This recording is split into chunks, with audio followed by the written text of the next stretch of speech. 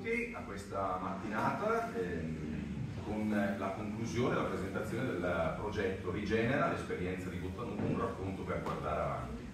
È un progetto, come poi verrà raccontato dai relatori che con me siedono oggi al tavolo, che fra poco presenterò, che è partito nel 2020, poi è stato in qualche modo vittima di Covid e di problematiche di natura tecnica che si sono però risolte ed è arrivato oggi alla sua piena realizzazione. Ehm, è un progetto molto articolato che ha visto l'intervento di diversi soggetti e che eh, si iscrive mh, completamente, direi anche in maniera molto efficace, all'interno di, di, una delle missioni che il Comune di Bottanuco ha eh, fatto sue con il eh, documento unico di progettazione, di programmazione, il DUP, per eh, il triennio scorso e anche per il triennio che viene, ovvero la missione dell'appartenere. Eh, cosa intendiamo per appartenere? Appartenenza è conoscere innanzitutto la propria realtà, da dove si arriva, quali sono le radici della comunità che vive in questo paese, non perché si abbia una qualche nostalgia del passato, ma perché conoscere le proprie radici permette di avere un orizzonte più solido e più lungo davanti sé, quindi la prospettiva è sempre quella del futuro, ma come quando andiamo in macchina abbiamo bisogno anche del, dello specchietto retrovisore che ci faccia capire da dove arriviamo e che cosa abbiamo alle spalle. Tutto ciò che abbiamo alle spalle è una ricchezza ed è opportuno e doveroso anche ricordarcelo per andare avanti. Il progetto Rigenera ha in sé una doppia anima, come dicevo, di memoria, ma anche di prospettiva, di desiderio, e qui non anticipo nulla perché saranno eh, altri a eh, illustrare questo, questa doppia veste. Eh, presento chi sta con me al tavolo, quindi saluto e ringrazio Marcello Mossali, Presidente di Agenda 21 Isola d'Armine Zingonia, l'architetto Davide Fortini che è il direttore del Point 21 di Agenda 21, con me Claudio Ferrante, consigliere comunale del Comune di Montalunco, abbiamo Giampaolo Gritti e Silvia Di Mauro, del, eh, scusami, Giampaolo Gritti della Fondazione Architetti di Bergamo, eh, Marco Bovati e Silvia Di Mauro del Politecnico di Milano, Dipartimento Architettura e Storia. Claudio farà un po' da come dire, sindaco oggi, eh, lo fai un po' tu, fai un po' tu i tempi e coordini un po' i lavori. Tutto questo, buona mattinata a tutti, grazie. Buongiorno a tutti, più che il sindaco però i tempi, così cerchiamo di stare nella nostra scaletta. E, ehm, questo progetto di genere è stato il, la modalità di, di, di, avvicinamento anche del cittadino al, alla, alla, questione urbana, alla questione urbanistica, e, proprio perché eh,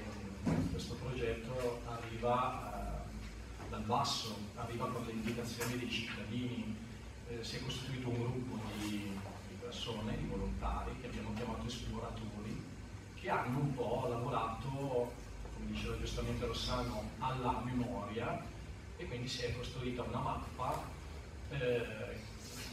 nella quale il suono è l'elemento dominante, quindi poi lo vedremo poi nell'uscita,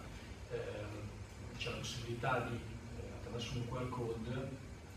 avere delle indicazioni riguardo ai luoghi attuali, ma anche a ciò che questi luoghi eh, rappresentavano in passato. Eh, quindi il lavoro proprio eh, di, di ricerca al, alla memoria dei, dei luoghi. Ehm,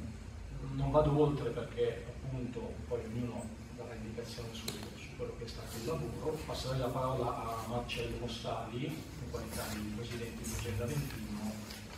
per le sue considerazioni. Considerazioni molto veloci, grazie Claudio, grazie Rossano, perché chi poi mi seguirà sarà certamente più eh, più importante nello spiegare e accompagnarci dentro il senso di questo progetto. Allora, l'Agenda 21 è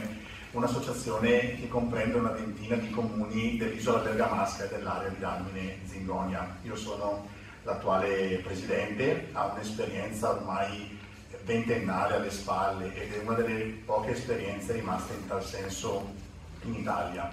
Persegue una serie di finalità, di progettualità, di attività che ehm, fanno come caposaldo dell'azione e della politica alcuni valori quali eh, l'integrazione degli aspetti sociali, ambientali e economici delle nostre comunità, piuttosto che la sostenibilità e il tema dell'autosostenibilità, come poi ci racconterà eh, Davide Fortini, che è il cuore pulsante della nostra associazione, eh, è un tema importante per le nostre comunità oggi. Il senso di una partecipata a più comuni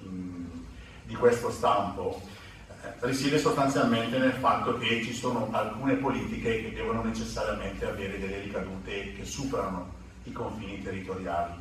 Io ringrazio il Comune di Bortanuco che ha deciso di stare all'interno di questo progetto di rigenerazione eh, dalla A alla Z in tutte le sue fasi. Mi piacerebbe che a partire dai risultati che ci verranno presentati in questa mattinata, il tema della rigenerazione urbana, che è un tema molto, molto importante nelle nostre comunità oggi, eh, comunità e amministrazioni che sono tutte in fase poi anche di definizione del PGT a livello locale, piano di governo, di governo del territorio, possono in qualche modo dialogare anche sulla base eh, di quei desiderati a cui prima facevano riferimento Rossana, Rossano e, e Claudio. Perché ehm, Agenda 21 ci sono due parole a cui è particolarmente legata che appartengono anche al titolo di questa mattina. Il termine territorio che indica una cura, che indica una storia, persone, luoghi, un senso di appartenenza, diceva prima il sindaco, un senso di memoria, di tradizione che deve essere attraverso la narrazione raccontata e trasmessa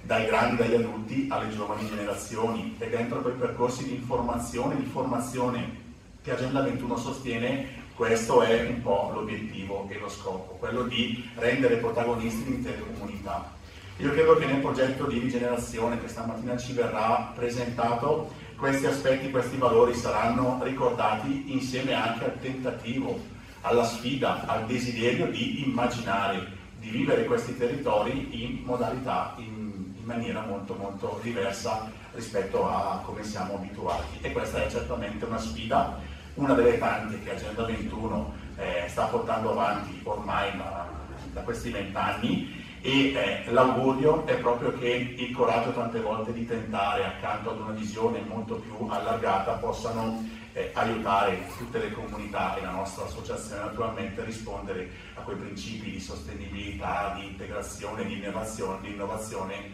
di cui si è fatta sempre carica, carico all'interno dei progetti e, e delle iniziative che che abbiamo immaginato, pensato e portato avanti. Io mi limiterei qui anche perché poi gli interventi sono davvero tanti e poi naturalmente siamo anche disponibili per domande e curiosità. Grazie. Grazie. Parlo io, Sì, Davide. eh, buongiorno a tutti, grazie di essere qua. Tengo la voce alta senza usare il microfono. Allora, il mio intervento è il racconto di dove è nata questa esperienza e di dove è arrivata e poi come si è sviluppata lo racconterà la Fondazione Architetti Bergamo. Allora, perché l'associazione a un certo punto decide di mettere nel paniere dei propri progetti il tema della rigenerazione urbana? Sono stati due motivi. Eh, il primo, l'emanazione della legge regionale sulla rigenerazione eh, eh, e contemporaneamente la conclusione di una nostra attività che ha eh, in qualche modo riattivato alcuni spazi pubblici verdi presenti nei comuni abbandonati. Questi due elementi eh, ci hanno consentito di ragionare sull'opportunità di fare un passo in avanti e andare a ragionare sugli spazi diciamo non più usati e potenzialmente da riattivare all'interno dei tessuti urbani. Eh, la legge regionale eh, ci ha dato l'opportunità di riflettere sul meccanismo che attivava eh, rispetto ai vuoti urbani. Eh, una legge che naturalmente ha avuto dei meriti nel riattivare dei percorsi di riuso di grandi aree dismesse, i, i piani di guardia territorio erano invitati a identificare degli ambiti di rigenerazione urbana. E, ehm, diciamo che dal nostro punto di vista eh, questa azione prettamente indirizzata diciamo, all'operatore economico, cioè a chi aveva le energie finanziarie per intervenire su questi grandi comparti di rigenerazione, ehm, poteva essere integrata da un'azione più dal basso, in cui, come abbiamo fatto per le aree verdi, di cui vi dicevo, eh, la eh, prospettiva di cosa potevano diventare queste aree verdi e di chi eh, eh, poi se ne sarebbe occupato nella gestione, nella vita di questi spazi, poteva essere una strategia appunto di integrazione, quindi integrare la grande area e le grandi superfici da rigenerare con una costellazione di piccoli spazi dove la rigenerazione era forse meno diciamo, importante dal punto di vista edilizio e invece più importante dal punto di vista dell'iniezione di vitalità. Eh,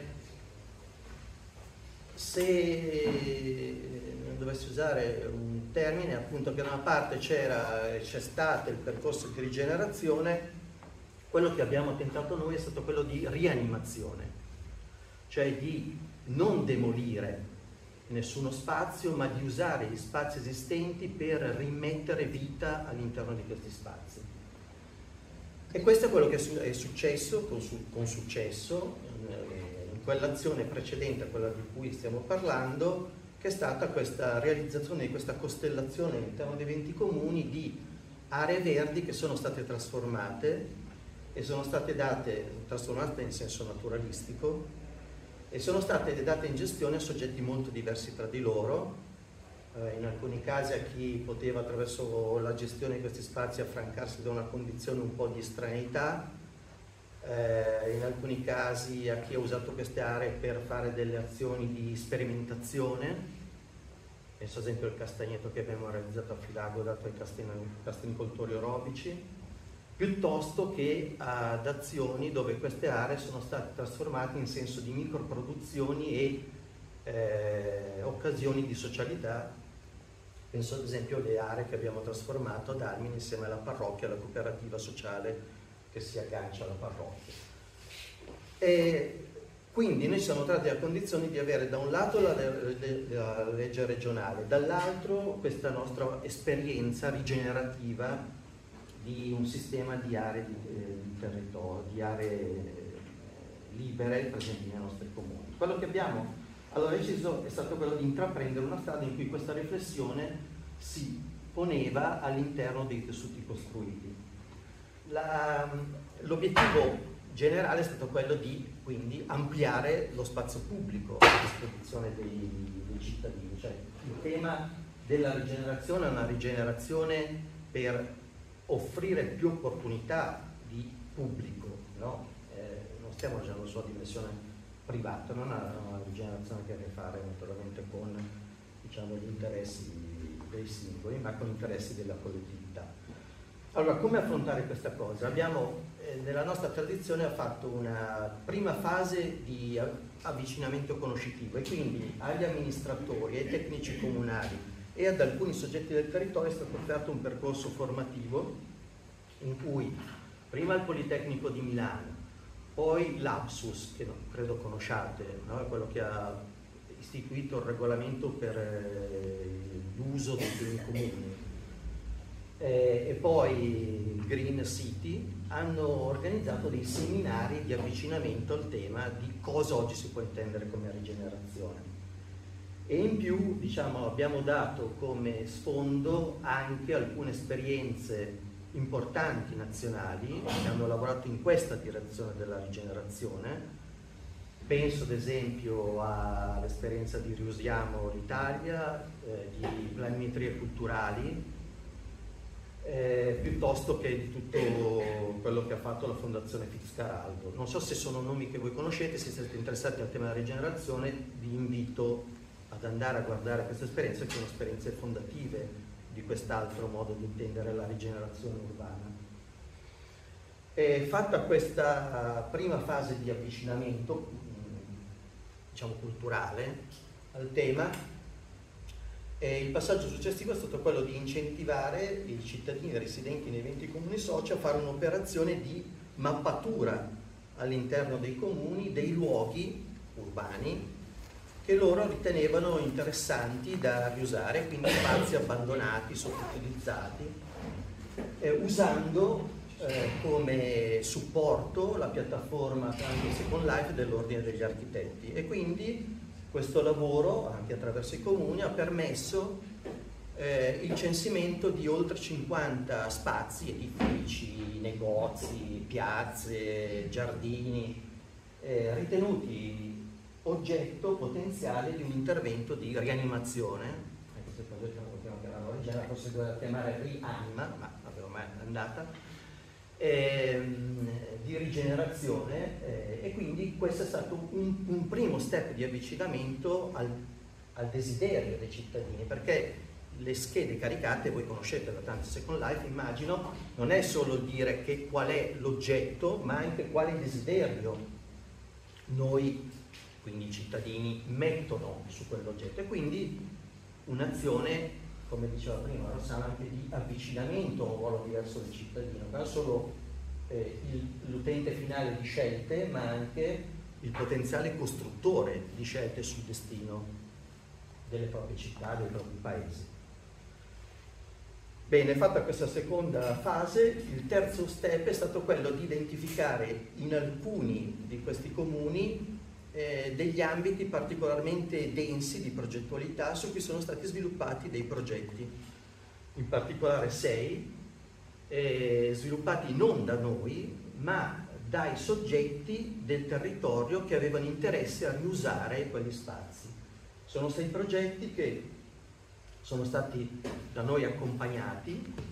progetti interessanti, eh, carichi di creatività, e che adesso non vi racconto, là ci sono sei schede di questi progetti, però c'è un video eh, di cui voi potete, chi è interessato, recuperare insomma, la narrazione di questi progetti che sono stati candidati al bando Creative Living Lab del MIBA. Nessuno di questi progetti è stato finanziato, ma la cosa interessante è che eh, questi progetti non solo hanno espresso un grado di innovazione potenziale delle politiche urbane eh, evidente, ma che anche hanno iniziato a realizzare un'altra visione di territorio, cioè quella della costruzione di una rete di servizi innovativi presenti all'interno dei nostri comuni. Questo per noi è un tema importante perché, eh, poi anche Petrino parla di eh, policentrismo, ma quello che noi facciamo come associazione è sempre stato, non potendo e non pensando di poter costruire e realizzare in ognuno dei 20 comuni un servizio nuovo, un'occasione nuova, quella di realizzare interventi all'interno di alcuni comuni e poi invogliare, invitare i cittadini residenti negli altri comuni ad usufruire di quel servizio come se fosse loro. E quindi ci troviamo spesso nella difficile condizione, anche rispetto agli amministratori, di chiedere loro di spiegare che i servizi che stanno in un altro comune non sono di quel comune lì, ma sono anche promossi dal comune eh, vicino con termine. E questo è un salto di prospettiva secondo me molto interessante, e cioè appunto che il territorio, di cui prima parlava Marcello, eh, è un sistema eh, di relazioni e di scambi. E, e, questa cosa però naturalmente difficile eh, farla passare, soprattutto nelle programmazioni comunali, dove ogni comune tenta di arraffare per sé il più possibile, no? escludendo gli altri. Anche questo progetto di Rigenera, dico anche questo qua di Rigenera, ha lavorato in questa direzione, cioè di spiegare che questa rete di potenziali nuovi servizi non era una rete a disposizione dei comuni, c'è il progetto Azzurro ad esempio che era qua di Bottanuco, non era un servizio nuovo per i cittadini di Bottanuco fatto dall'amministrazione di Bottanuco, ma era un servizio nuovo per i cittadini di Bottanuco, ma anche dei comuni dell'isola, soci ma non solo, che apparteneva e che sarebbe appartenuto anche agli altri comuni. E naturalmente questo voi capite un salto culturale che ancora secondo me è un po' da fare no? nella relazione anche tra diciamo, eh, le strutture di governo del territorio. Va bene, abbiamo fatto questi sei progetti e, e a un certo punto appunto non sono stati finanziati, eravamo pronti a far partire l'esperienza sperimentale qua di Bottanuco, sarebbe stato interessante perché siamo stati a un passo da portare qua a Bottanuco anche i Subsonica che avrebbero fatto un lavoro. Sapete che non so se sapete ma il leader subsonica ha fatto tutto un lavoro di rapporto tra musica e suoni della natura e quindi c'era questa cosa qua, poi insomma questi impedimenti hanno fatto saltare il tutto, ma per dire che, che a un certo punto abbiamo detto bene, però questa cosa deve andare avanti e quindi di nuovo in rapporto con la Fondazione Piatti Berga abbiamo detto facciamo il passaggio successivo, il passaggio successivo è quello che poi racconterà Gritti. Eh, io chiudo dicendo, facendo alcuni eh, riferimenti rispetto a questo iter di altri temi che sono stati per noi importanti in questa esperienza, ma in genere nelle altre che ho un po' accennato. Uno, il tema della partecipazione. Il tema della partecipazione per noi eh, eh è sempre stata intesa ed è intendersi come un'esperienza profonda di relazione con le comunità, perché far partecipare le comunità, a nostro avviso, significa aiutare a reinterpretare il ruolo di abitante e quindi la partecipazione è, è qualcosa di diverso e di non semplice e indolore,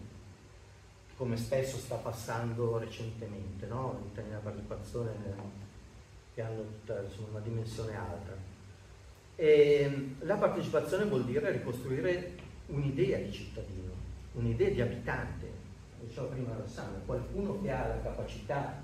di costruire una propria conoscenza ma anche di esprimere un proprio desiderio. E l'altro aspetto della partecipazione che ci tengo a sottolineare oggi è quello dell'apprendimento reciproco. Per noi la partecipazione non è il spostare il, il, potere decisionale da una parte all'altra, ma è costruire consapevolezza e capacità di dialogo tra quelli che si chiamano i saperi contestuali, cioè i saperi di chi abita un luogo, con i saperi esperti. Allora per me è interessante, credo per noi tutti deve essere interessante oggi perché a fronte di un'esperienza che nasce dal basso, c'è parallelamente un'esperienza di saperi esperti, che è quella del Politecnico che ha lavorato parallelamente e quindi l'attesa è che nella definizione dello strumento urbanistico questi due saperi si contaminino, parlino, nessuno cercando di superare l'altro, ma entrambe cercando di arricchirsi attraverso le argomentazioni che hanno. No? E quindi chiudo sul tema partecipazione la partecipazione ragiona anche, almeno per noi, su dei modelli di democrazia, in particolare quella deliberativa, che è un arricchimento della democrazia rappresentativa, che è quella elettiva sostanzialmente. Quindi tema chiave partecipazione. Altro tema chiave è il territorio, abbiamo già detto alcune cose, e sul tema territorio credo che sia importante eh, riconoscere che alcune delle cose che abbiamo eh, usato come concetti derivano da un'esperienza che è quella della scuola territorialista e del eh, compianto Alberto Magnaghi, non so quanto di voi si occupano di urbanistica, quanti conoscano e quanto abbiano conosciuto la storia di Alberto Magnaghi, è una storia importante nella disciplina urbanistica italiana, eh, che ha lavorato sul tema di territorio. E in particolare ciò che mi sembra importante ricordare oggi è eh, la critica all'urbanistica che ha realizzato spazi, quindi l'urbanistica funzionale, a favore invece di un'urbanistica che produca luoghi e quindi un'urbanistica che lavori sulla dimensione di urbanità, facendo tutte queste operazioni, riconoscendo come ruolo centrale quello dell'abitante, di cui abbiamo detto prima. E il terzo elemento di sfondo che mi sembra interessante emerga da queste esperienze che quindi speriamo possa andare avanti insieme insomma, a tutte queste idee e questi temi che sto ponendo anche un po' così dubitativamente ma insomma credendoci almeno un po' è, è quella della, dell'ibridazione degli spazi i progetti che abbiamo fatto, eh, che hanno fatto il territorio che noi abbiamo adesso possiamo ancora raccontare, ma anche l'idea di una città a venire eh, crediamo debba essere sempre più un'idea di una città che eh, ragiona meno per separazioni funzionali e per, più per ibridazione delle occasioni di uso di un dato spazio. E questa idea dell'ibridazione è un'idea centrale in quella politica delle città eh, a 15 minuti, oggi molto in voga nelle grandi città. Chiaro che parlare di 15 minuti a tutto vuol dire forse in troppo tempo, ma non è fin troppo tempo se noi ritorniamo a quell'idea di rete, di città, che nella mia mente è ad esempio eh, l'isola bergamasca, perché io non riesco a immaginare, io che vengo da Milano, l'isola bergamasca se non come un'unica grande città, fatta soprattutto di agricoltura, che ha dei quartieri che sono i paesi. E allora ragionare sulla dimensione dei 15 minuti per me vuol dire immaginare la possibilità di fruire di servizi all'interno del territorio che stanno in un'ottica unica di territorio, pur se posizionati in paesi diversi. Ecco, l'esperienza di Rigenera avuto questo substrato di attenzione e di dimensione che naturalmente si è confrontato col tema della sostenibilità, ma in particolare c'è Rossano dell'autosostenibilità, cioè di come tutte queste pratiche riescono a reggersi da sole, senza iniezioni dall'esterno di risorse, cose di questo genere. I progetti che noi avevamo pensato, ad esempio, erano tutti autosostenibili dal punto economico, finanziario e gestionale. È importante pensare questo proprio per non avere l'idea della sostenibilità come di un qualcosa che ha a che fare con l'industria, con le, la produzione che si rinnova un po' e che piove sui territori, ma devono essere territori che riprendono questi temi e li rifanno propri, reinventandosi. E, e speriamo appunto che quello di oggi non sia un punto conclusivo ma un punto di partenza. Cioè, questa esperienza è ricca di visioni, di opportunità e speriamo appunto di riuscire a portare avanti. L'associazione dei 20 comuni da, da Genetune è molto piccola, però insomma noi cerchiamo attraverso strategie di tipo diverso di far avanzare tutte queste, queste idee. Vi ringrazio. Grazie a te.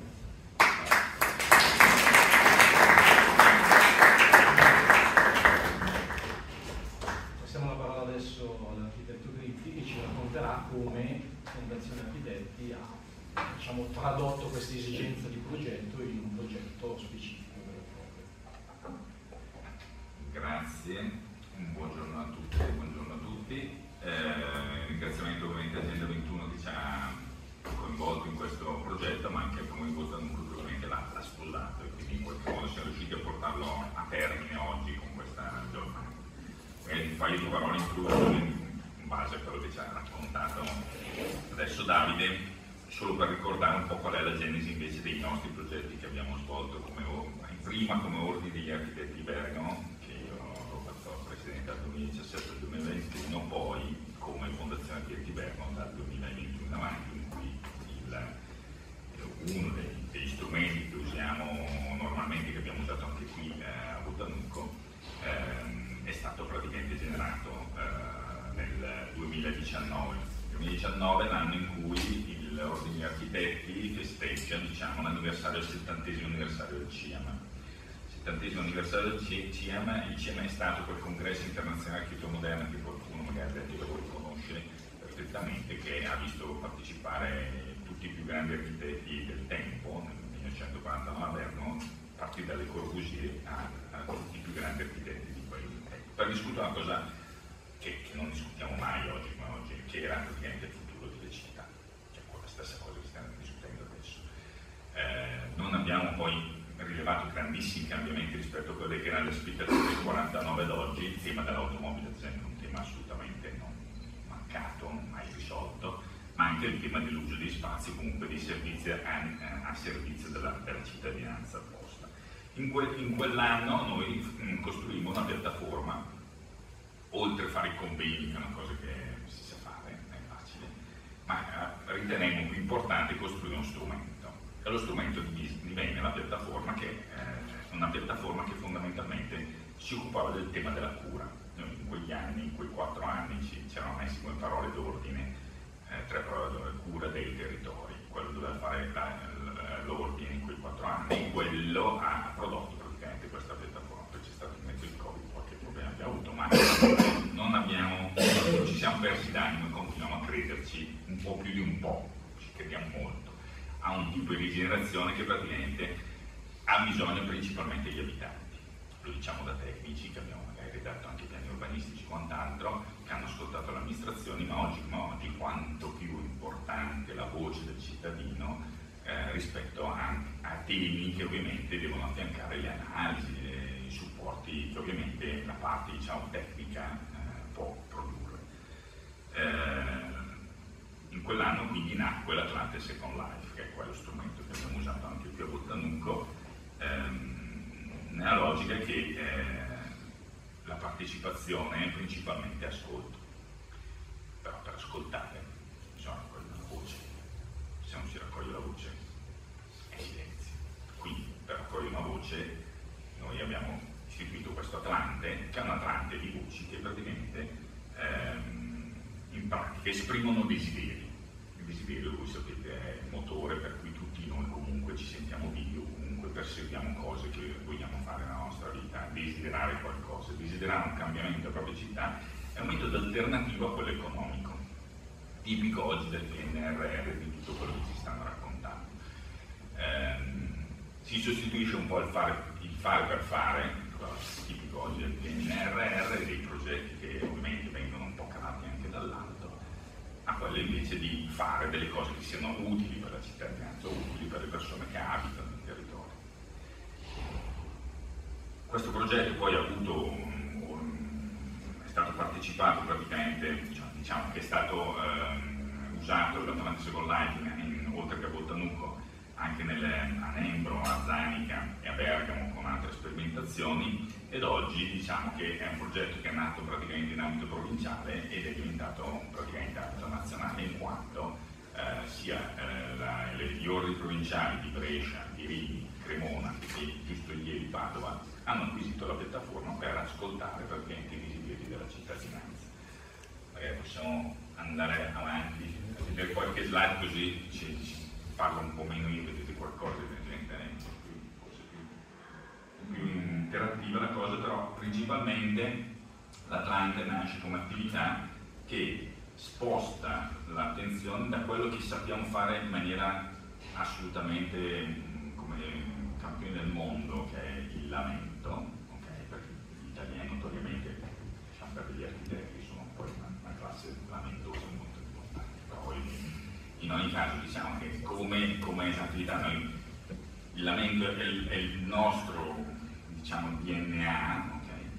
spostare il lamento all'opportunità. Cioè, come diceva un po' Davide, essere capaci di esprimere un desiderio sul futuro della città è un tema sempre più importante per chi amministra le città, ovviamente, perché poi se, se l'amministrazione ha una buona amministrazione, ovviamente perché sa interpretare in modo corretto anche i desideri della propria cittadinanza, quindi quello è un, è un lavoro che va in sinergia. Ovviamente anche per fare questi tipi di trasformazioni, come diceva Davide, non c'è bisogno di chissà quante eh, e con, eh, diciamo, chissà quali denari, quanti quantitativi, quantitativi denari, c'è bisogno principalmente di persone. E anche qui nasce appunto prima questa attività, che è un'attività di ascolto, con l'obiettivo di conoscere e valorizzare il territorio di Bottanucco tramite due eh, mappature. Una, una, virtuale che va su due piattaforme, una è la piattaforma Atlante Second Life, quella che vi ho raccontato adesso, la seconda è scoprobottanucco.it, che è un portale che aveva già costruito praticamente il comune di Bottanucco, e l'altra invece è fisica, cioè lo troveremo anche in giro, andando in giro per Bottanucco, troveremo dei segnali che ci raccontano questa, questa esperienza. Eh, cosa abbiamo fatto per far questo? Abbiamo chiamato la cittadinanza, ci siamo avvalsi de, della collaborazione ovviamente del comune, ma anche della cooperativa Chimia, che qui Andrea Freda,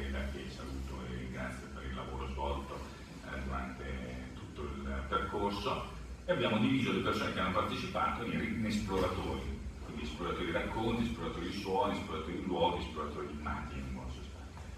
Possiamo andare e da lì abbiamo praticamente raccolto tutta una serie eh, di, eh, di, testimonianze di quello che era comunque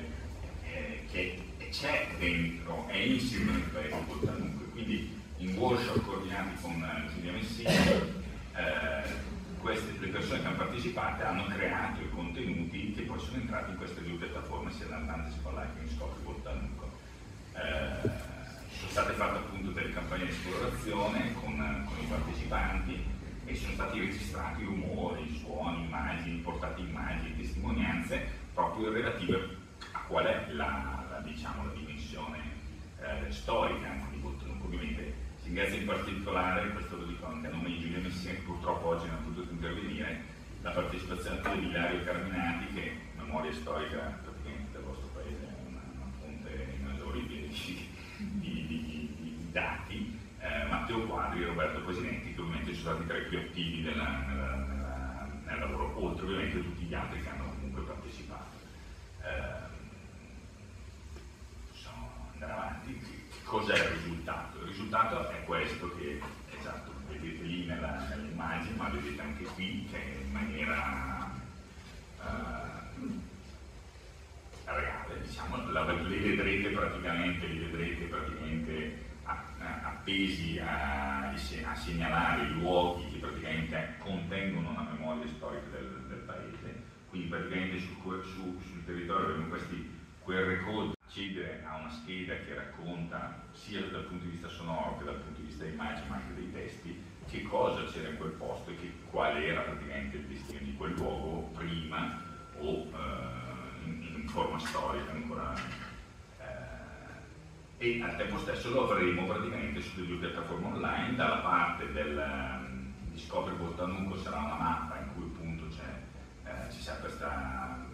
possibilità di ascoltare dal punto di vista sonoro, il tema dei, dei luoghi, le memorie o, o, appunto i suoni, e praticamente determinati 20, quasi 30, 30, luoghi che sono stati mappati dalla, dalla cittadinanza. Andiamo pure avanti.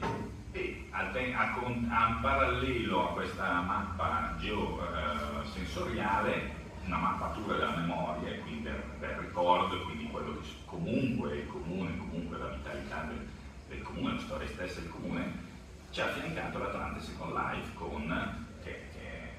è, un, portale che si trova sul web facendo www.asarchitettura.it che si a, arriva normalmente al quale si possono caricare direttamente dal cellulare ovviamente immagini, adesso possiamo scorrere immagini e quant'altro. Diciamo che principalmente Atlante Second Life è una piattaforma di desideri che vuole prendersi cura dei territori e che innesca un processo di ascolto per costruire un nuovo. Ascolto, conoscenza e paesaggio ovviamente determina la cura per un luogo, per un territorio. Sono le, la, questa è la mappa praticamente delle segnalazioni che abbiamo avuto durante la, la, la campagna che abbiamo fatto in quei workshop. Sono nove segnalazioni, sono nove, nove siti praticamente sono tutti riscontrabili sia sul sito ovviamente della Trans Second Life che ovviamente sul sito Scopri Bottanucco dove c'è la parte, diciamo nella mappa Scopri Bottanucco dove c'è la, diciamo, la targhetta Atlante Second Life trovate questi, dove c'è invece la mappa di, una, di, un microfono, diciamo, di un autoparlante di l'altro, di un autoparlante invece trovate le, le segnalazioni storiche dell'elemento. Quindi vi sono vari desideri espressi, ad esempio sul tema delle cavi, come non fare un percorso alcuni recuperi edilizi che vogliono che vengano finiti questi cantieri che sembra che siano un po' eh, non, non, non, finiti da, da, tempo, magari nel meglio sono stati finiti, nonché un doppio desiderio, nel senso che una segnalazione doppia che tra altre cose una era addirittura prima dell'inizio dell'attività, perché noi principalmente questa attività andiamo a fare nelle scuole, nei percorsi di alternanza scuola-lavoro, nei licei, prendendo le terze e le quarte dei licei, quindi voglio dire il futuro delle nostre città, coloro che abiteranno in città nel nostro prossimo futuro, si esprimono e hanno espresso circa 500 desideri, oltre 500 desideri sulla provincia di Bergamo, desideri che adesso stiamo mappando a nostra volta per andare a sensibilizzare i comuni, per poter poi fare il piano 2 che è oltre quello dell'ascolto, quello dell'azione, che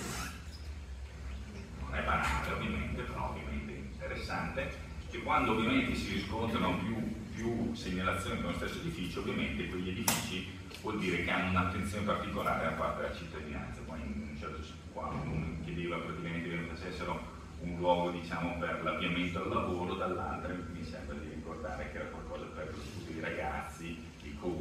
co-working, eh, gli orti urbani, eccetera, nella, nella fase, fase 2. Uh, comunque il tipo di ad esempio mh, la fondazione, l'ordine a suo tempo, innescò un processo con un privato per, la, per, il, per il concorso in due fasi per l'ex socio agrario a Bergamo, 5 minuti guardate le cose che sono adesso ad oggi in attesa di nulla osta da parte del Comune di Bergamo per il permesso di costruire, ma è un'attività che è arrivata fino alla, alla, all'esecuzione, diciamo, nel senso che non sono partiti i lavori, ma almeno dal punto di vista progettuale l'intento è eh, arrivato a buon fine. Eh, questo è l'ultimo desiderio di via Damiano Chiesa,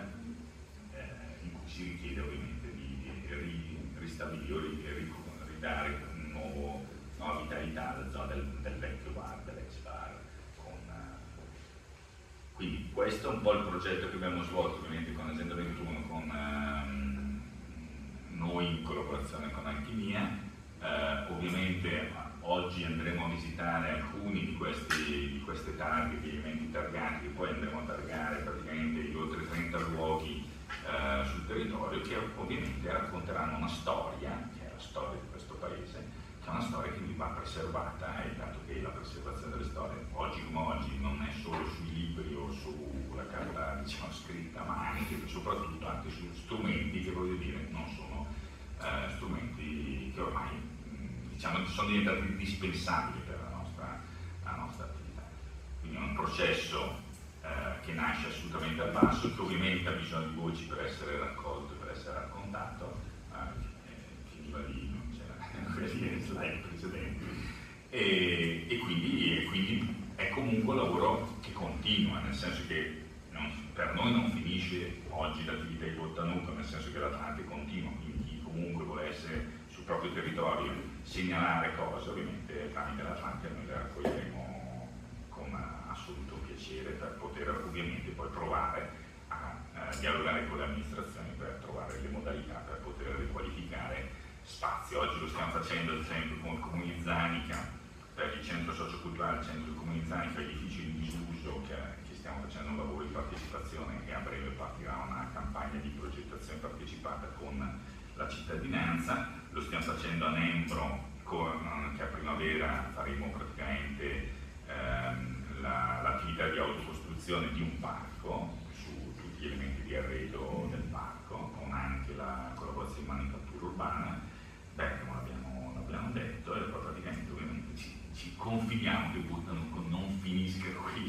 quel titolo un racconto per guardare avanti, guardi, questo sia solo un motivo per poter guardare avanti con più coscienza e più conoscenza di quello che abbiamo sotto, sotto gli occhi, sotto mano. Grazie. Grazie.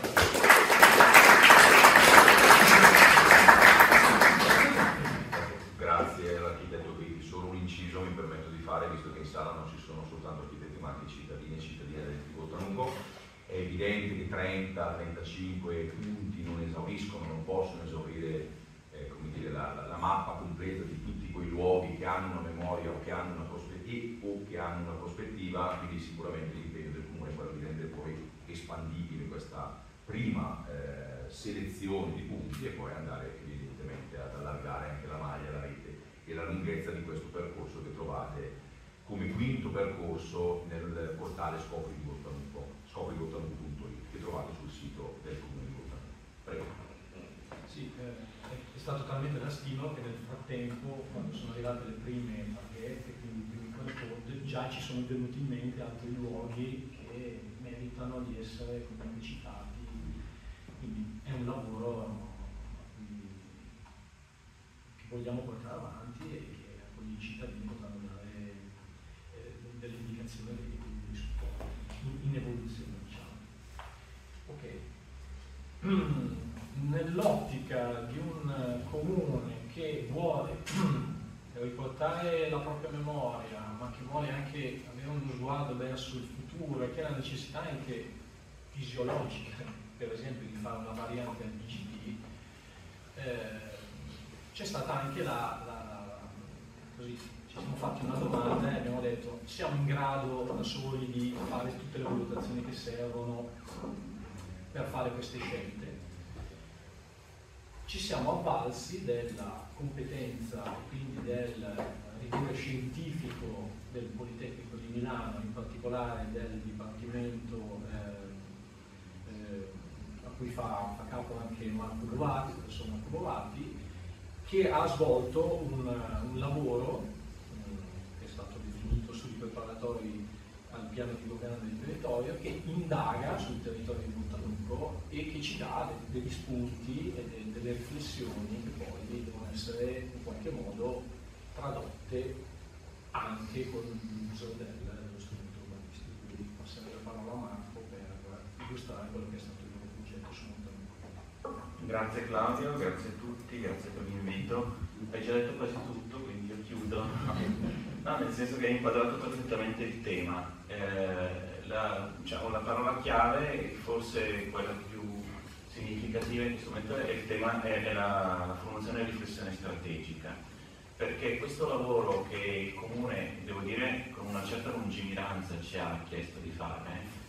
eh, non è la scrittura del piano, la, della variante di piano, no? eh, non è neanche, come dire, quella, quella, ricerca e quell'ascolto che è stato fatto dal, dall'ordine, dalla fondazione e, e, neanche la riflessione di Agenda 21, è qualcosa che sta in mezzo, è qualcosa che forse Azzardo prima di ogni piano avrebbe fatto, perché è un momento nel quale eh, l'amministrazione, attraverso eh, delle, delle, delle, persone competenti e attraverso una riflessione generale, cerca di produrre una conoscenza del proprio territorio. Conoscenza che naturalmente eh, in questo caso è diciamo, strategicamente orientata a costruire delle visioni o delle strategie. Allora tutto ciò eh, non è norme, leggi e regolamenti, non dice cosa bisogna fare, no? ma semmai è, eh, è, ciò che precede la riflessione, eh, scusate, eh, l'azione normativa del piano. Eh, in questo senso la finalità di questo lavoro è stata eh, proprio quella di produrre delle visioni strategiche, cioè di produrre delle ipotesi di futuro. Naturalmente ipotesi di futuro che come cercheremo di spiegare sono fondate radicate nella eh, realtà di Bottanuco, eh, a partire dalla convinzione che qualsiasi eh, rigenerazione, qualsiasi sviluppo sostenibile di un territorio si debba fondare sulla profonda e interdisciplinare conoscenza del territorio perché eh, le, le, dire, i voli pindarici eh, sia alla scala del, del territorio che dell'architettura non conducono da nessuna parte. Dunque, questa visione non si è fondata su un obiettivo esplicito di costruire una norma, o perlomeno non la facciamo noi, eh, ma si è basata invece su un tipo di sguardo molto particolare, che è quello eh, condiviso da, da molti dei presenti, che è quello dell'architetto. È uno sguardo che osserva la realtà, ma la osserva attraverso degli occhiali un po' particolari, per mettere in evidenza alcuni aspetti a volte nascosti. E per fare questo lavoro è necessario guardare alle forme, guardare alle relazioni tra le forme, guardare alle loro origini, alla loro storia, eh, ma soprattutto avere il coraggio di prendere posizione rispetto a queste forme. Il nostro non è un non è stato, ma in generale il nostro lavoro non è un, uh, caratterizzato da un processo di tipo analitico, ma semmai da un processo di tipo sintetico.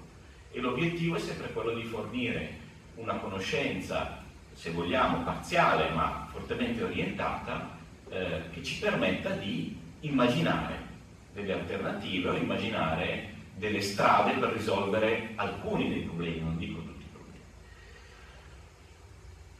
In questo caso andiamo avanti,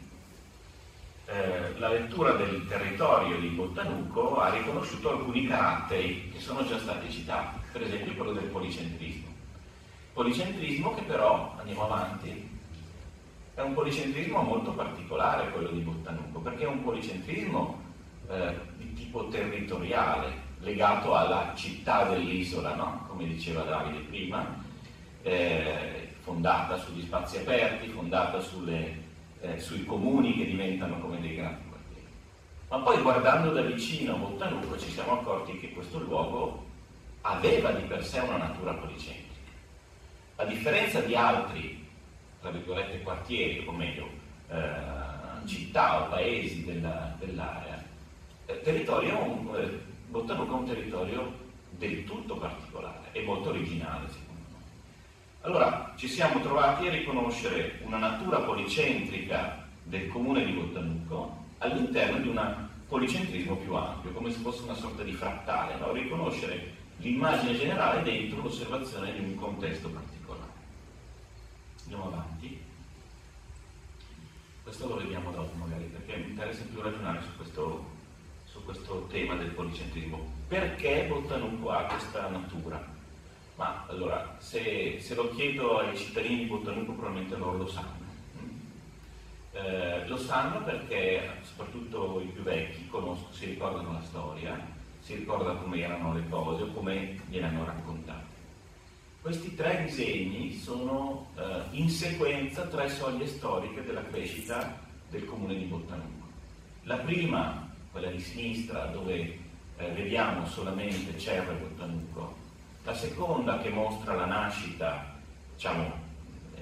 l'inquadramento successivo alla nascita del polo intorno alla chiesa e al comune, e la terza è la lettura, diciamo, di oggi, andiamo avanti,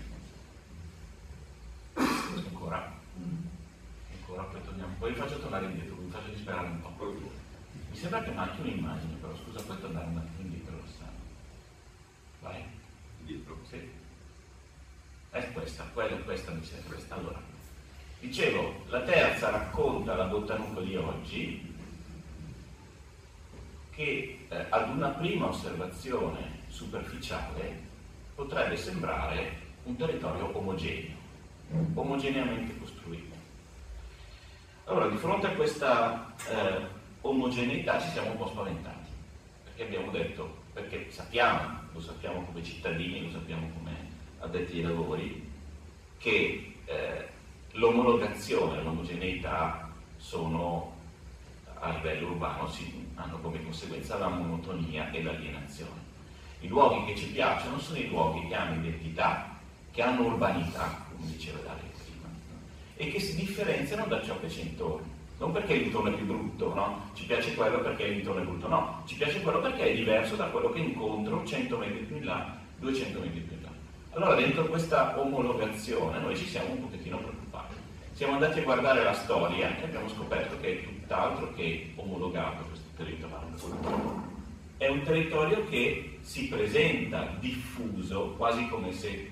un'altra scala potessimo parlare di sprawl, ma che in realtà ha dei grumi, no, dei nodi interni che sono molto significativi. E questi nodi sono un po' nascosti dentro questa diffusione. Allora, la visione, la, la riflessione strategica, che anticipo, per, anche se è stato il punto di arrivo del nostro lavoro, però serve poi a capire, no, nella seconda parte dell'intervento, il motivo per cui sono state fatte tutta una serie di la riflessione strategica è stata quella, andiamo avanti, scusate, ancora, ancora una, ecco, di in, interpretare la presenza di questi luoghi identitari all'interno del comune di Bottanuco, provare a ordinarli, a leggerli intanto per capire dove erano, provare a metterli a sistema per costruire all'interno di questa omogeneità una gerarchia tra luoghi identitari, o chiamiamoli centrali, anche se non sono al centro, perché Buttanuco ha due centri, più un terzo centro, e nessuno sta fisicamente nel centro geometrico del territorio. Quindi l'unica possibilità, a parte quella di inseguire l'ideale utopico di un paese di origine agricola, con il centro storico, la piazza della chiesa, tutte le cascine intorno, poi la periferia e poi il territorio, che qui a Bottanuco non si dà, non è riconoscibile. L'unica alternativa ci è sembrata quella di identificare un sistema di luoghi centrali, metterli in relazione tra di loro, naturalmente noi siamo già, cioè siamo già andati avanti di dieci anni, cioè abbiamo già fatto, come dire, abbiamo già detto al sindaco, qui devi fare questo, devi fare quell'altro, no? Quindi quando dico mettere a sistema e legare tra di loro, immagino che poi ci possono essere dei progetti che realizzano questa cosa. Ma per fare questa operazione era opportuno riflettere su queste identità e capire la loro natura, il loro carattere. Allora ci è sembrato, e questo diciamo, è la parte più scivolosa de, de, dell'operazione che facciamo perché è del tutto una proiezione, eh? Potrebbe essere smentita eh, dalla storia, mm, quella che verrà. Ci siamo immaginati che abbiamo costruito prima una mappatura di questi luoghi, poi abbiamo cercato di metterli in relazione e abbiamo letto una forma che è quella rappresentata da quel diagramma a sinistra, in alto a sinistra e in basso a sinistra, che mostra l'incrocio di due telai, di due sistemi di luoghi eh, che formano una specie di T che ha come punto di intersezione proprio il luogo dove siamo adesso. Allora, di nuovo non è un centro, ma è un, un sistema complesso e questo sistema complesso però in qualche modo deve avere una sua identità, non può essere solamente una riflessione sulla forma mh, hm, e sullo spazio, ma deve essere anche una, una, riflessione sul rapporto che queste forme e questi spazi eh, costruiscono con la vita delle persone. Allora, mettendo insieme il transetto est-ovest, come l'abbiamo chiamato, che tiene insieme il centro storico di Bottanuco, tiene insieme il comune e chiesa, tiene insieme lo spazio sportivo e l'aggancio sulla strada provinciale, abbiamo interpretato questo sistema come un sistema più fortemente orientato all'idea dei servizi, quindi una città costruita artificiale con tutti i servizi che servono alla cittadinanza. Mentre il sistema nord-sud, che di nuovo parte dal nodo chiesa-comune, scende verso sud, intercettando alcuni elementi interessanti, il parco, l'area del cimitero, interessanti dal punto di vista paesaggistico, e poi arriva al Cerro, eh, quasi come se fosse un sistema diciamo, di strada-parco, dove prevalgono un po' gli elementi vegetali, prevalgono delle visioni paesaggistiche, e questa idea ci sembrava molto interessante, poi ci siamo accorti che questo sistema non è da solo dentro il territorio di Bottanuco, perché Bottanuco ha una straordinaria risorsa paesaggistica che tiene insieme tutto questo e gli dà la possibilità di non essere, come dire, di non navigare nel, nel, nello vuoto, che è quello della, eh, della presenza del fiume. Quindi tutta l'area in, a, diciamo, a margine del fiume Parco dell'Anda, l'area delle cave recuperata, i sistemi che ancora adesso ci sono, l'arrivo al fiume eh, attraverso i percorsi esistenti, la possibilità di immaginare una riqualificazione del sistema dei percorsi lungo il fiume e, esistenti sia da Cerro che da Burtanuco, che alla fine costruiscono quell'immagine che vedete in basso, in basso a sinistra, che mostra i due transetti, ma mostra anche l'elemento che li articola uno con l'altro e li mette in relazione una figura territoriale molto più chiara. Io mi fermo perché ho già parlato troppo, lascio la parola a Silvia perché eh, Silvia Di Mauro, che sta facendo un dottorato di ricerca al Politecnico di Milano, si occupa tra l'altro nel suo dottorato di progetti strategici di riuso nel comune di Urtaluco e anche in Prima del collegamento con l'architetto La Pietra abbiamo ancora 10 minuti. 10 minuti, direi che sono perfetti. Adesso l'obiettivo dell'intervento di Silvia, dopo che io vi ho detto le conclusioni, perché io sono già arrivato a ieri che era assassino del giallo, lei vi racconta come si è sviluppata invece questa vicenda e, e vi mostra un po' le premesse. Buongiorno, grazie. Eh, tutto il processo è stato suddiviso. Erano Sì. Eh, tutto il processo, se torniamo all'indice iniziale che vedevamo nella presentazione, andando avanti, eh, è stato suddiviso in diversi temi che cercano di tenere insieme la complessità eh, del territorio e tutte le varie stratificazioni che lo compongono. E all'interno di questi temi gli strumenti che abbiamo utilizzato per andare a svilupparlo, andare a sviluppare ehm, ogni punto sono diversi e dipendono poi dall'interpretazione che abbiamo voluto dare e da ognuno di questi può essere ricavato. Andando dopo alla strategia progettuale, il primo impatto, avanti ancora, fino dopo, qui, eh, il primo eh, step che abbiamo fatto per eh, studiare il territorio è stato quello di metterci nella prospettiva eh, del, dell'uomo e dell'abitante che percorre questi spazi e di cercare di sottolineare quali sono i landmark e i punti di riferimento riconoscibili nello spazio quando si percorrono le strade, gli spazi pubblici di questo luogo, che sono sia eh, caratterizzanti dello spazio costruito, ma anche andando avanti car molto caratteristici anche dello spazio eh, legato all'ambito naturalistico e agricolo, che riescono a differenziare gli ambiti appunto riconoscibili, come dicevamo prima, da quelli dell'omologazione del territorio eh, della dispersione. Se passiamo al capitolo successivo, genesi dell'assetto morfologico del territorio, eh, questa parte è stata sviluppata attraverso un'analisi comparativa delle soglie storiche che hanno eh, portato alla conformazione del territorio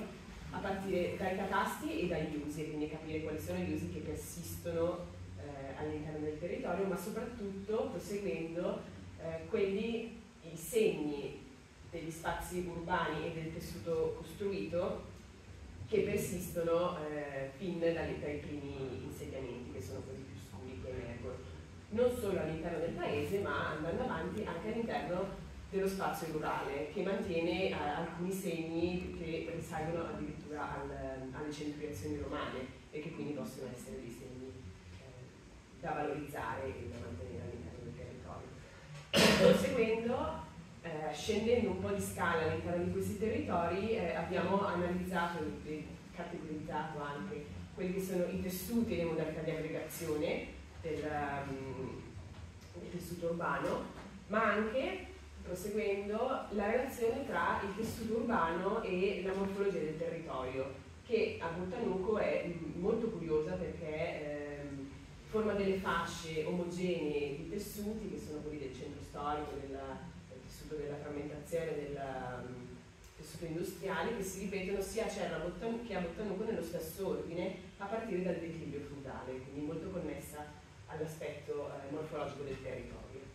Proseguendo siamo andati ad analizzare poi eh, le caratteristiche di, questi, di, queste emergenze storiche che abbiamo individuato, cercando attraverso un'analisi delle alterazioni del um, tessuto storico di capire, proseguendo, di estrapolare un modello che è quello della tipologia eh, che compone la maggior parte del tessuto, che è quella rurale appunto, estrapolandone delle caratteristiche base. Proseguendo siamo passati a cercare di capire quali elementi attraverso un abaco sono stati conservati con, la, eh, con lo scopo di eh, indirizzare verso la conservazione di alcuni elementi importanti all'interno delle stratificazioni materiali che ci sono state, ma eh, andando avanti cercando anche di distinguerli da quelle che sono state le alterazioni, quindi dare uno strumento di ehm, analisi del contesto esistente. Proseguendo siamo passati ehm, a, appunto all'individuazione di quelli che sono i sistemi urbani che poi sono entrati all'interno del progetto e abbiamo cercato di produrre una sequenza di eh, visualizzazioni in sezione per eh, capire le caratteristiche di questi spazi che compongono i sistemi e dare appunto uno strumento di, di analisi delle sequenze sia per la direzione est-ovest che andando avanti per la direzione nord-sud, ma anche tramite una campagna fotografica di analisi di tutti i paesaggi che poi si incontrano all'interno di questi percorsi. Questi spazi pubblici sono infine stati, proseguendo, eh, inseriti all'interno del contesto ecologico, naturalistico e rurale che ha appunto evidenziato poi eh, un asse di spazi pubblici eh, nord-sud caratterizzati dalla dalla presenza di verde e quindi anche potenziali, ma andando anche a far emergere non solo lo spazio ehm, naturalistico dell'ambito dell'Alta, ma anche il PIS che riguarda l'altro lato del,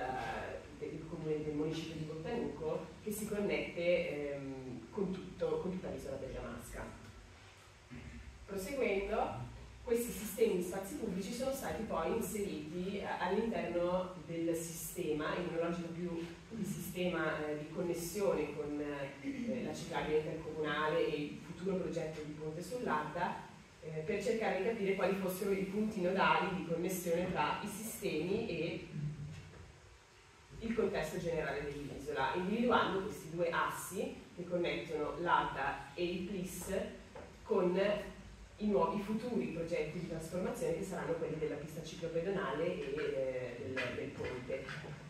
entrando di nuovo all'interno di quella logica sistemica che poi è multiscalare soprattutto che ha permeato un po' tutto il progetto di, ricerca e ha portato i risultati che abbiamo visto in precedenza. Grazie.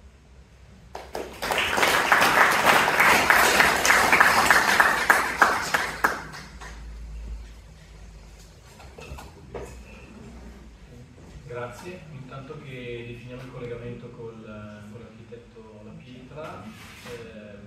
aggiungo una nota, il ponte in previsione che avete visto sull'Adda è un ponte che ha carattere ciclopedonale, quindi non è un asse viario, ma è ciclopedonale. e va un po' a tagliare quell'anello di più di 20 km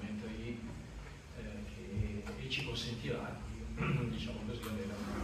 un'ottima connessione anche con l'altra sponda, con la risaia dall'altra della provincia di Milano. Eh, la presentazione dell'architetto La Pietra la lascio a Davide Fortini che diciamo così, meglio di tutti probabilmente conosce la storia del, del professor La Pietra, eh, arduo compito di sintetizzare sì. qualcosa di molto molto vasto. Vabbè, eh, parlare di Ugo La Pietra è complicato perché immagino che molti di voi conoscono almeno il nome di Ugo La Pietra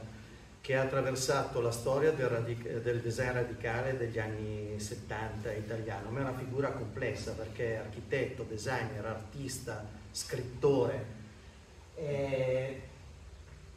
perché l'abbiamo invitato? Perché eh, la pietra da questi suoi molteplici sguardi ha sempre attraversato il tema della città e del territorio come l'oggetto della sua riflessione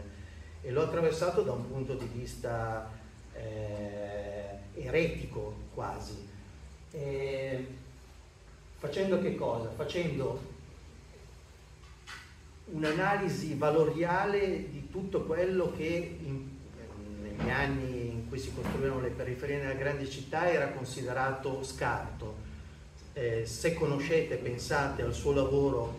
eh, suo ciclo di lavoro che si chiama Gradi di libertà, recupero e reinvenzione, è tutto il lavoro sulle parti periferiche della città in cui i cittadini si riappropriavano degli spazi e ricostruivano quegli spazi con propri immaginari. E lui attraverso la propria azione artistica ha detto che quello era un sistema di qualità e non di svalore. Ma ha anche attraversato la città, i segni della città, con una dimensione estremamente ironica e ludica. Se voi conoscete il suo ciclo di lavoro che è eh, le attrezzature urbane per la collettività, quando lui riprende eh, la molteplicità degli arredi urbani e li reinventa li trasforma con, come nuove occasioni per stare all'interno delle città, eh,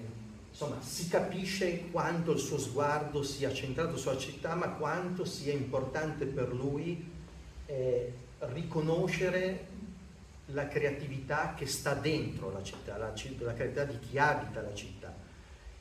E dentro questo percorso un suo, un'altra sua fase di ricerca e di lavoro è quella che, a, che, lo ha portato a ragionare su come si comunica all'interno della città.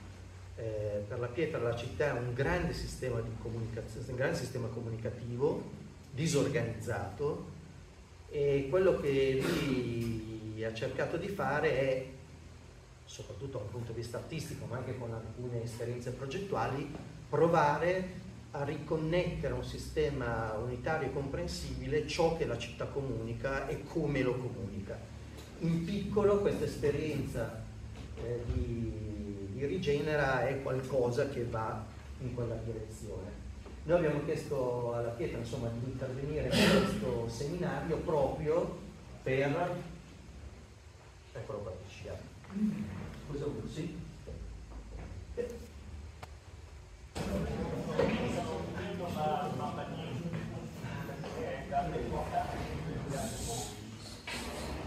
Ci vediamo. Sì, ti sentiamo.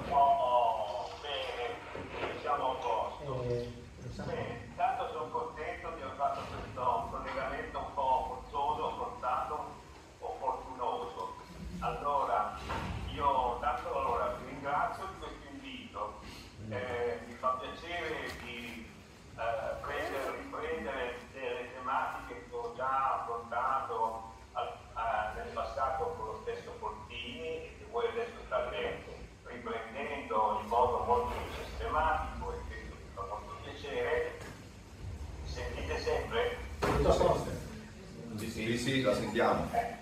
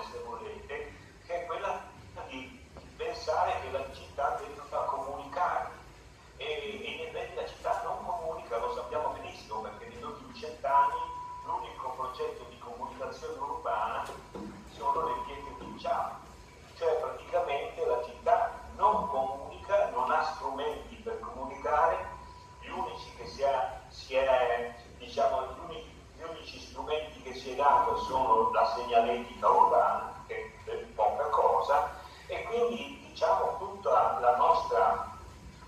azione di progettisti, di artisti, di intellettuali, eccetera, dovrebbe essere proiettata verso questo, questa grande tematica. La mancanza di comunicazione poi è quella che genera tutte le, eh, le deformazioni e le degenerazioni diciamo, urbane. Pensiamo soltanto al fatto che eh, non potendo, non avendo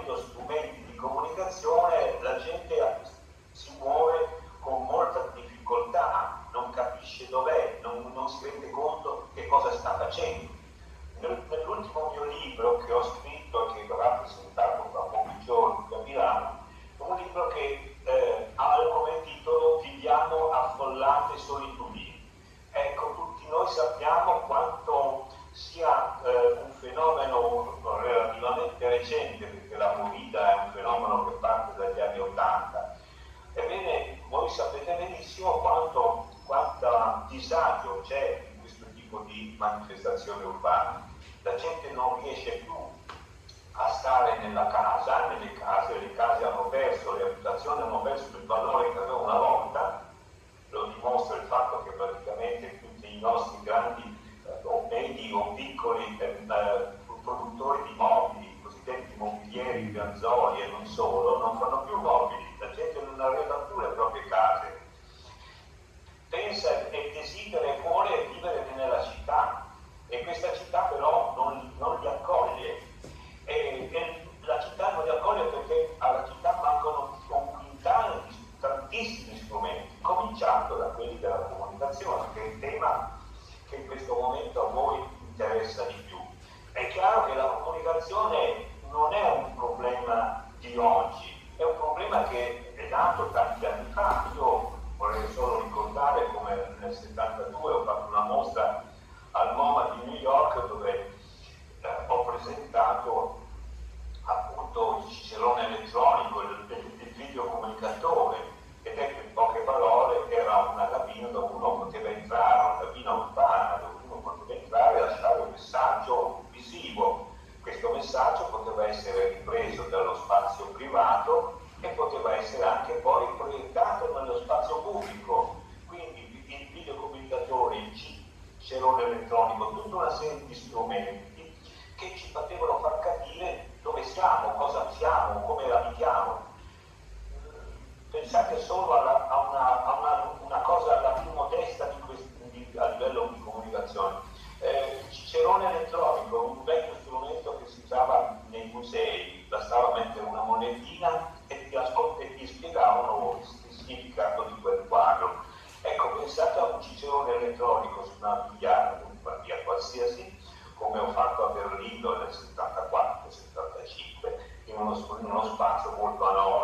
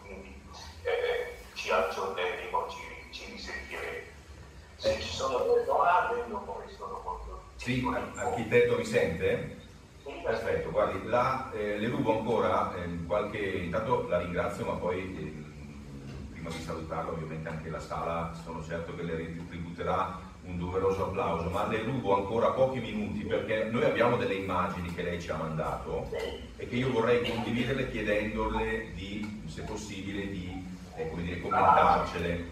Se mi dai modo di farlo perché eh, devo condividere uno schermo.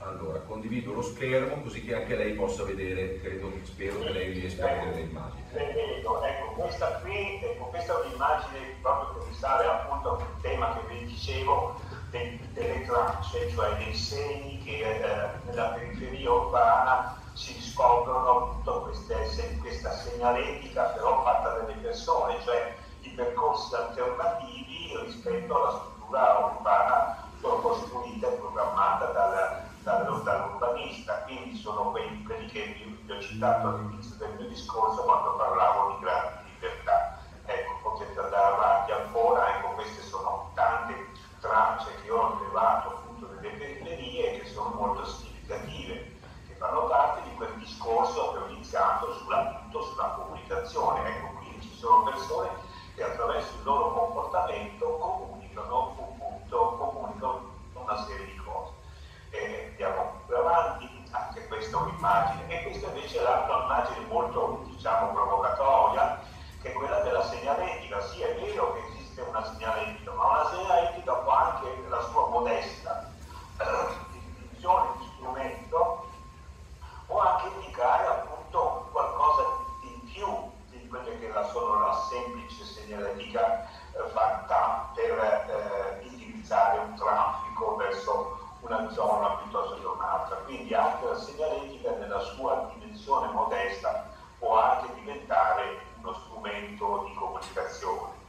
Vai pure avanti, è pure così. Poi anche qui, ecco, qui si vede come un piccolo progetto che sto portando avanti per la città di Pescara è proprio quello di riuscire a costruire dei piccoli libri aperti in pietra su cui collocare delle frasi, degli aforismi, diciamo di, eh, di Ennio Flaiano, che è un grande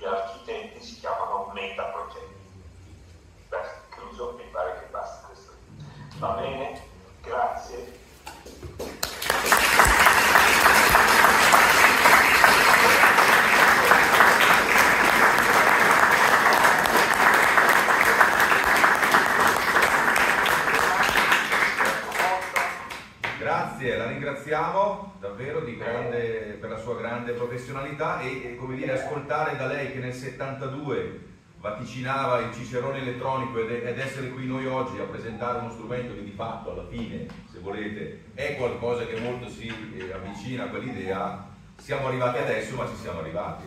Bene, bene, bravi, bravi. tutti, i miei, tutti i miei auguri. Grazie, a lei a presto, arrivederla, grazie.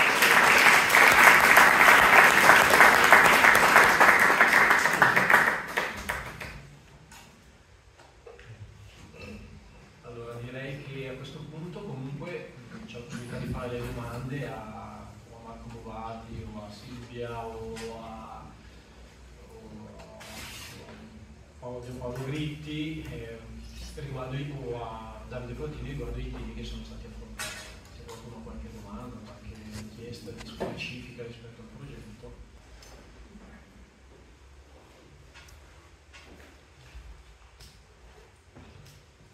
Quindi,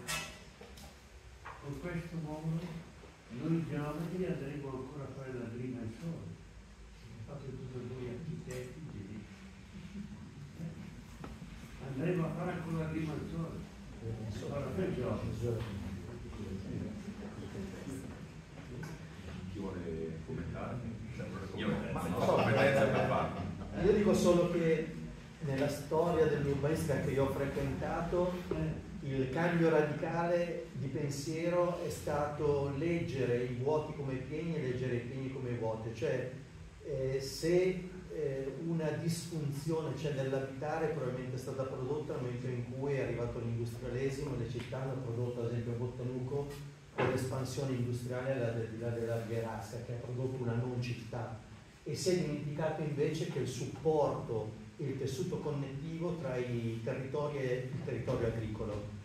e questa perdita di capacità di relazionarsi con questo territorio è un problema perché lì dentro ci sono tutte le reti funzionali ecologiche, c'è l'acqua, c'è la natura lì dentro, no? E quindi ritornare a fare l'agrimensore, beh, forse sarebbe un auspicio più che una paura, no? Cioè tornare a occuparsi del territorio che abbiamo ritenuto vuoto, che riteniamo dei vuoti, perché noi quando leggiamo le mappe del territorio quei territori sono sostanzialmente vuoti, invece provare a tornare a riempirli di significato. Quindi io in realtà mi auspicherei che si tornasse a fare la gente. Certo che la povera gente non faranno subito a casettina o cosa, perché è tutto il sistema dei progetti è arrivato tra l'architetto e studiato dal compatto. Perché, perché in questi anni, dopo 60, 90, noi ci mettiamo insieme alla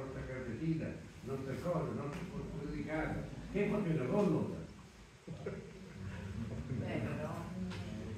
molto cambia. e- Vabbè, mi sento di dire che il punto di vista però dovrebbe essere un pochino più coraggioso e lungimirante, se mi permette. Il punto di vista dovrebbe essere un pochino più coraggioso e lungimirante, non possiamo più pensare ad una logica di, come le ha chiamate lei, casettine disomogenee, disaggregate che non stanno in un disegno complessivo. Questo non vuole dire che ci deve essere qualcuno che dice eh, come deve essere fatta la casa, quanto deve essere grande, deve, quale colore deve, deve avere, ma deve esserci un disegno complessivo, armonico, che deve essere evidentemente guidato da, eh, dalle istituzioni e da persone evidentemente che hanno le competenze per poterlo fare, e questo non, non ne ho, per questo sono circondato da persone che competenze ne hanno. Eh, mi viene da pensare che però tutta la, eh, diciamo, la genesi dei nuovi PCT, dei nuovi strumenti urbanistici che nascono dal PTCP della provincia piuttosto che dal piano,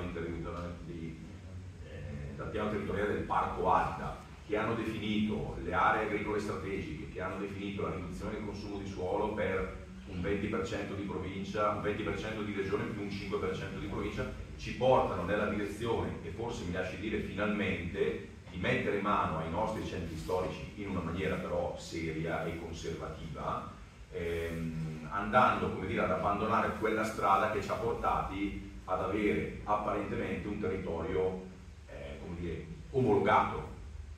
che è quello che sulle prime Politecnico si è trovato di fronte quando è venuto a leggere il territorio di Bottanuco, salvo poi scoprire che invece c'erano delle interessanti letture, e le abbiamo viste, la strada dei servizi, quindi la parte del comune, oratorio, scuola, scuola materna, supermercato, e poi la strada del, quella che è stata chiamata strada del parco, una strada verde, una strada che ci porta verso l'Adda, che è, il nostro, è una delle nostre ricchezze, nostra intendo come Bottanuco, eh, ricchezze più eh, importanti. E tutto il lavoro che l'amministrazione comunale sta portando avanti eh, insieme al Parco Alta per recuperare le aree della cava, che sono quella via di mezzo tra il centro abitato e il, il comparto fluviale, va proprio in questa direzione, cioè recuperare anche i collegamenti che ci portano, che ci portano verso il fiume. Da questo punto di vista il Comune ha fatto diversi investimenti, alcuni vedranno la luce anche quest'anno con il ripristino, la sistemazione proprio di alcuni di quei, eh, di quei passaggi, di quei sentieri che da Bottanuco portano, dal- diciamo dal paese portano lungo il fiume, verranno recuperati in particolare due sentieri che sono quello eh, dire, del vecchio acquedotto, quindi quello che noi chiamiamo anche sentiero degli alpini, perché nel 2001 eh, gli alpini fecero proprio un campo, parteciparono ad un campo internazionale di sistemazione di quel, di quel sentiero che poi porta alla famosa rosa, alla roggia che conduceva l'acqua controcorrente eh, rispetto al corso del fiume Adda, controcorrente perché raccoglieva tutte le fonti e le sorgenti e le risorgire del, diciamo, del, del, ceppo dell'Adda e le portava dove c'era il mulino, quindi le, portava a monte controcorrente rispetto al fiume. Verrà sistemato quel sentiero, verrà sistemato il sentiero che dal prato di San Giorgio porta al prato dell'Adda e da lì al Funtanì, Funtanì che è uno dei punti che è stato intercettato eh, nella eh, geolocalizzazione sonora e che non andremo oggi a vedere perché è un po' fuori mano, ma ci limiteremo a muoverci qui, qui attorno. Eh, Funtanì che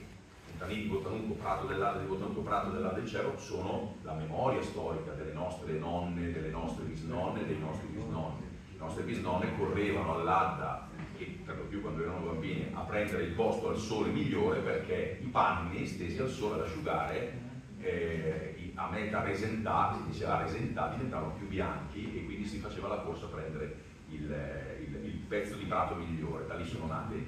nati amori, sono nate famiglie, sono diventati grandi ragazzi e oggi però quei luoghi sono stati dire, abbandonati. Eh, lì è cresciuto un bosco, non c'è più un prato. Io, qualcuno mi ha dato delle fotografie degli anni 60-70 dove si vedeva ancora il prato e poi il bosco riprende la sua legittima proprietà e rinasce il bosco. Rinascendo il bosco però si perde un po' di quella che è la, la memoria dei cittadini e delle persone che lì ci hanno abitato. Questo non vuole dire che dobbiamo riportare il prato lì, ma forse riportare la memoria lì ci aiuta, eh, come dicevo in apertura, a rimetterci un pochino in carreggiata per seguire la strada del dove vogliamo andare. Io direi che possiamo avere concluso qui questa mattinata, che è stata davvero per quanto mi riguarda molto molto molto interessante. Ringrazio Agenda 21, ringrazio il Politecnico di Milano, ringrazio la Fondazione Architetti di Bergamo, ringrazio Claudio ringrazio, lo farò ancora l'architetto La Pietra che ci ha dato dall'alto delle sue primavere una, uno sguardo sempre provocatorio e sempre anche qui proiettato verso il futuro e quindi adesso Claudio possiamo procedere con il momento conclusivo che ti lascio eh, il compito di illustrare. Grazie. Ci trasferiamo semplicemente qui a distanza di 50 metri quello che è attualmente il piazzale del ospita il mercato chilometro zero che è comunque un'iniziativa di Agenda 21 sui, sui nostri comuni. E proveremo magari a utilizzare il, il QR code eh, l'indicazione che è riferita proprio a quel luogo che in passato è stato principalmente nel nostro ricordo il campo di Tamburello, quindi eh, il primo input è un input sonoro e si sente sotto gioco del tamburello che era molto caratteristico dei nostri paesi. Esatto, abbiamo anche stato un giocatore professionista dello stadio di tamburello quindi magari ci faremo descrivere da lui come funzionava esattamente. Eh, vi ricordo, eh, magari prima di uscire, per chi non l'ha ancora fatto, di, di firmare il registro per poter avere... Grazie a tutti.